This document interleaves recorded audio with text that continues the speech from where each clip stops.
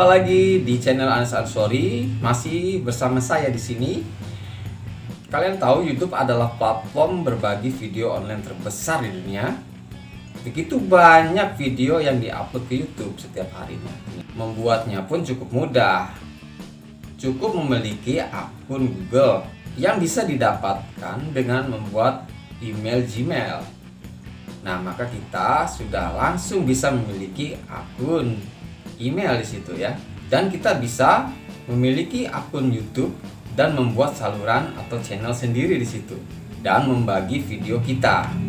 Nah, bagi kalian yang sudah menjadi YouTuber atau yang baru menjadi YouTuber atau yang akan mau menjadi YouTuber, mungkin Anda sering menonton video di channel Anda sendiri, entah itu memakai HP yang untuk upload ke YouTube-nya atau melalui HP yang lain dengan cara untuk mendapatkan viewer dan subscribernya. Nah, di sini Anda harus hati-hati karena YouTube sendiri akan menganggap ini adalah suatu pelanggaran. Eh, sesuai dengan peraturan yang telah ditetapkan bahwasanya menonton video sendiri merupakan suatu pelanggaran kebijakan dari YouTube. Karena berarti traffic yang dihasilkan dari view bukanlah asli dari penonton, melainkan kita sendiri. Dan hal ini dapat mengakibatkan suspend pada channel kita atau bisa saja channel kita di blok atau dihapus dari kemitraan YouTube. Bagi Anda yang belum tahu akan hal ini, Anda harus menstop ya. Menstop ya. Menstop nonton video sendiri karena peraturan dari YouTube sendiri sekarang sudah mulai ketat. Dengan trafficnya yang sekarang sudah canggih sekali ya.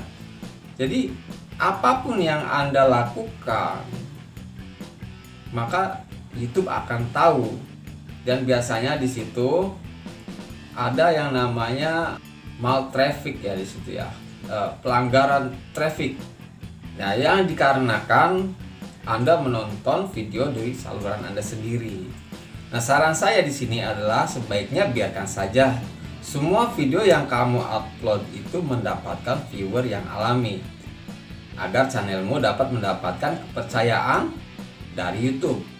Berapapun jumlah penontonnya, YouTube akan memberikan penghargaan pada kamu karena kamu sudah berjuang. Suatu saat nanti video kamu akan mendapatkan biasa ledakan viewer biasanya Kuncinya adalah upload video kamu secara konsisten dan buat konten-konten yang kira-kira sangat diminati oleh para penonton. Bisa temanya pendidikan, tutorial, dan sebagainya. Nah, dan saran saya itu jangan dijadikan patokan oleh Anda karena itu terserah kepada diri Anda masing-masing. Anda akan membuat jati diri apa dari video Anda sendiri atau dari channel Anda sendiri. Nah, itulah guys. Sekarang Anda sudah tahu kan bahwa bahayanya menonton video pada channel Anda sendiri ya. Itu akan disebut spam oleh pihak YouTube. Nah, demikianlah sedikit penjelasan mengenai aturan YouTube. Semoga kita lebih berhati-hati dalam channel kita agar channel kita aman dan terbebas dari segala ancaman suspend. Semoga bermanfaat. Sampai ketemu lagi di video-video selanjutnya. Tetap berkreativitas, tetap semangat. Terus berkarya, terus bikin konten. Dan wassalam.